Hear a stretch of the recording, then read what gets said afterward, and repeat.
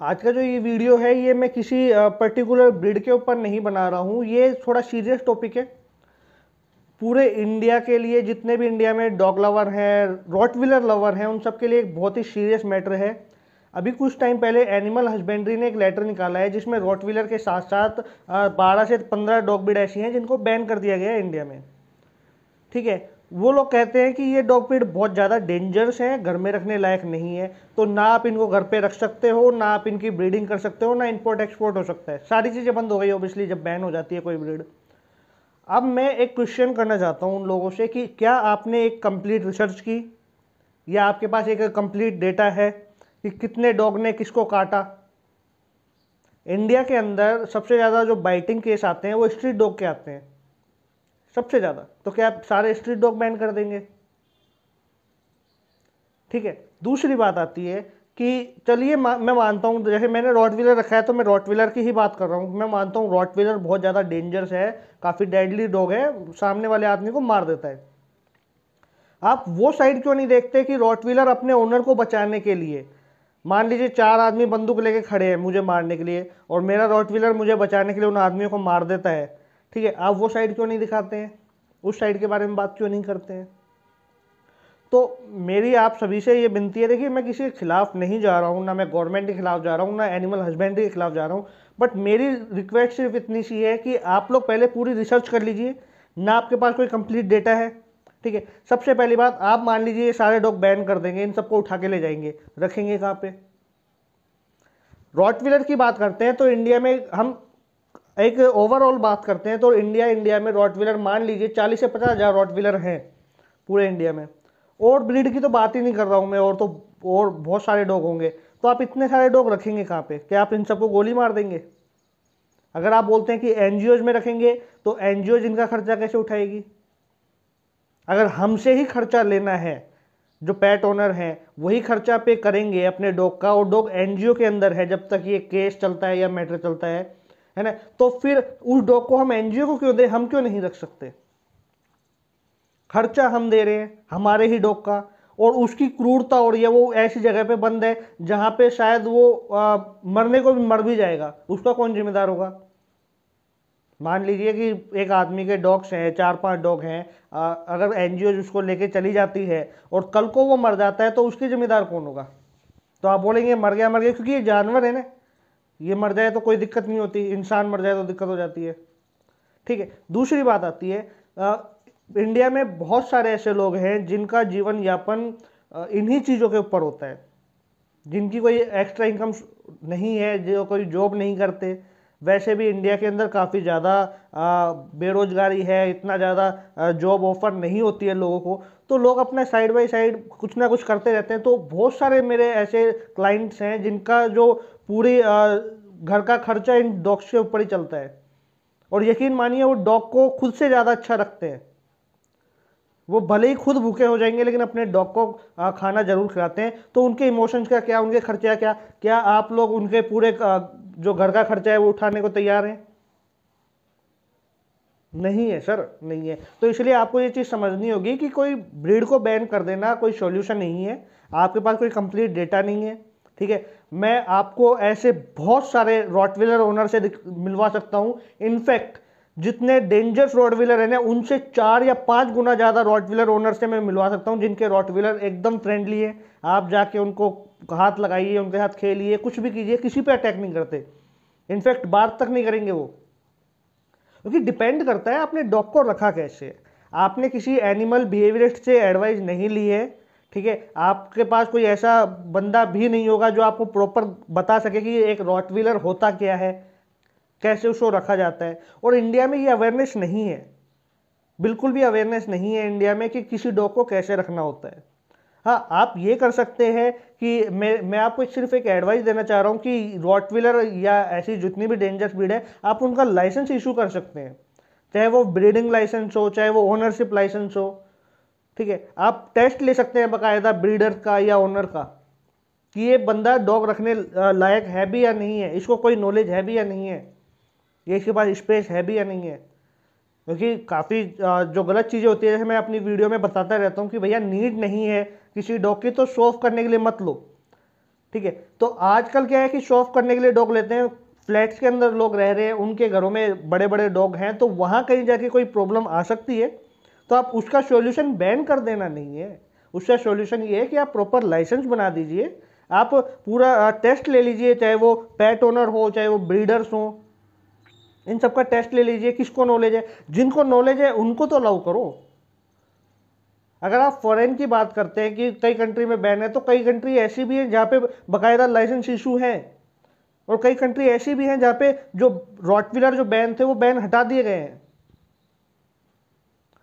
मैं आपसे पूछ रहा हूँ, चलो रॉटविलर तो हम लोग घर में रखते हैं, वो डेंजरस है, जो स्ट्रीट डॉग है, उसके बाइटिंग केस इतने ज़्यादा आ जाते हैं, उसका जवाब कौन देगा?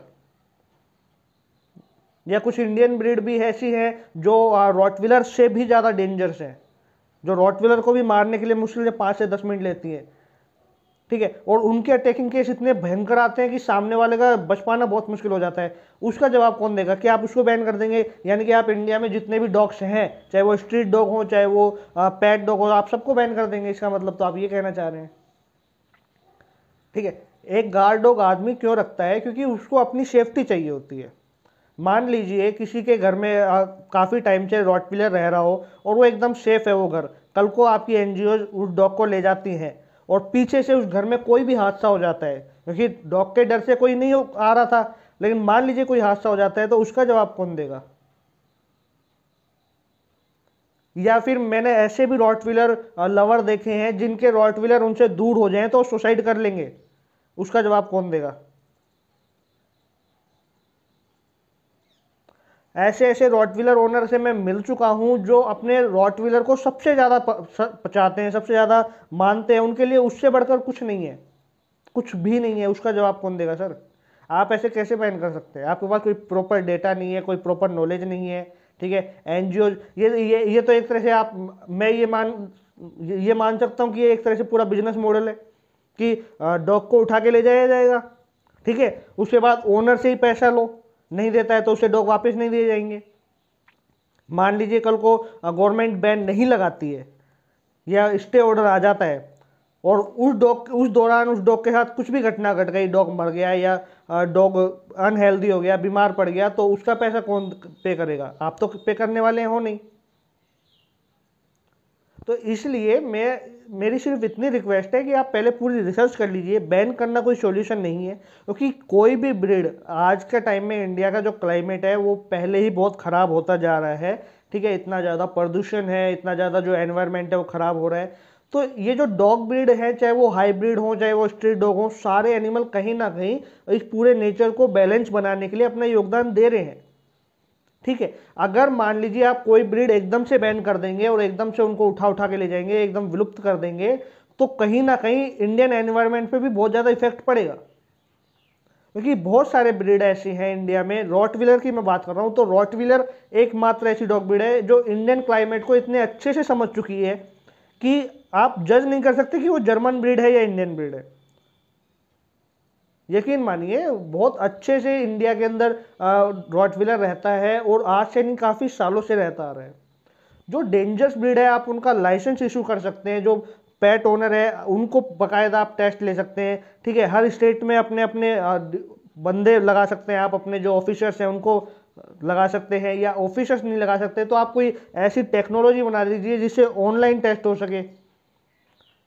कि आदमी को मालूम तो पड़ सके ना कि आ, कौन लायक है कौन नहीं है। आपको मालूम तो पड़े कि यार ये रॉटविलर रखने लायक कौन बंदा है या कौन बंदा नहीं है। ठीक है? क्योंकि तो जिसको प्रॉपर नॉलेज होगी उसके डॉग कभी अटैक नहीं करते हैं। जो सॉफ करने के लिए डॉग ले लेते हैं उनके डॉग अटैक करते हैं फिर बदनाम पूरी ब्रीड हो जाती है।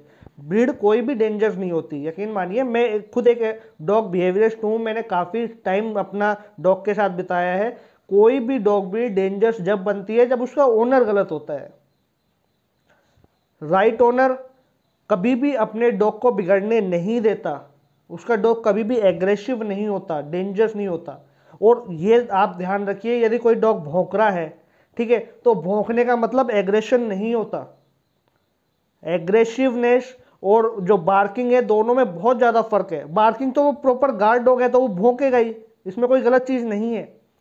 एग्रेशन जब है, जब वो अपने जो घर के जो ओनर हैं, जो डॉग के ओनर हैं, उनके कंट्रोल में नहीं आ रहा या बाहर हर एक पर्सन पे बाइट कर रहा है, वो चीज़ समझ में आती है कि हाँ डॉग एग्रेसिव हो गया। उस केस में आप एक्शन ले सकते हो बट ये तो कोई मतलब नहीं होता है कि यार दो तीन ऐसे केस आ गए जो ओनर की गलती रही है और उसमें आपने पूरी ब्रीड्स को बैन कर दिया। और जो मेरे व्यूवर्स हैं, उनको मैं बताना चाह रहा हूँ कि अगर आप रॉटविलर को जस्टिस दिलाना चाहते हैं तो एक हैशटैग है। Hashtag stop ban rottweiler India इसको जितना हो सके आप चलन में चलाइए। ठीक है, लोगों को अवेयर कीजिए कि भैया इस डॉग को बैन नहीं करना चाहिए, क्योंकि लोगों का काफ़ी, लोगों का ड्रीम डॉग है ये। काफ़ी लोग रखना चाहते हैं, काफ़ी लोग रख रहे हैं। ठीक है प्रॉपर नॉलेज के साथ आप डॉग रखिए तो एनिमल हस्बेंड्री या गवर्नमेंट तक हमारी बात पहुँचे तो ये पूरी कम्युनिटी है जो हमारी। ठीक है? हम सबको अपना अपना योगदान देना पड़ेगा। जितने भी हैशटैग चल रहे हैं, जो डॉग ब्रीड को बचाने के लिए आप सभी को, उनको फॉलो करना है, उनको शेयर करना है, अपने सोशल अकाउंट्स पे जितने भी आपके सोशल मीडिया अकाउंट है, चाहे वो फेसबुक हो इंस्टाग्राम हो, हर किसी पे आपको ये हैशटैग डालने ही पड़ेंगे। जो, जिन लोगों के पास डॉग है, उनको भी ये बात बोलनी पड़ेगी। ऐसा नहीं है कि ये जो मुद्दा है, सिर्फ़ ब्रीडर्स के लिए या ट्रेनर के लिए है, ये पेट ओनर के लिए भी है।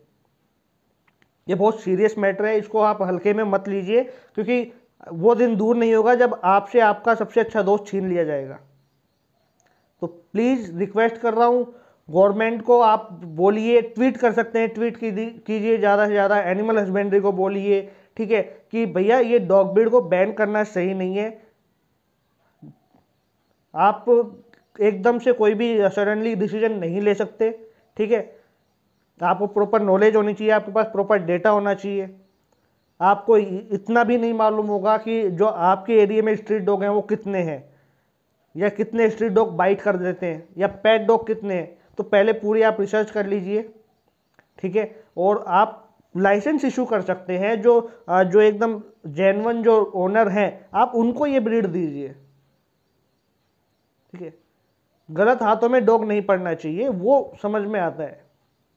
बैन करना कोई सॉल्यूशन नहीं है, ठीक है? तो जितने भी मेरे जो व्यूवर्स हैं, आप इस वीडियो को ज़्यादा से ज़्यादा शेयर कीजिए और आप भी अपना अपना योगदान दीजिए, अपनी सोशल अकाउंट्स जितने भी हैं, चाहे फेसबुक इंस्टाग्राम हर किसी पे आपको हैशटैग चलाने ही चलाने पड़ेंगे। तब कहीं जाके हमारे डॉग ब्रिड है, जो हमारे रॉट है, वो बच सकता है। अदरवाइज़ ये रॉट या रॉट जैसे और ब्रिड है, पूरी तरीके से इंडिया से विलुप्त हो जाएँगे।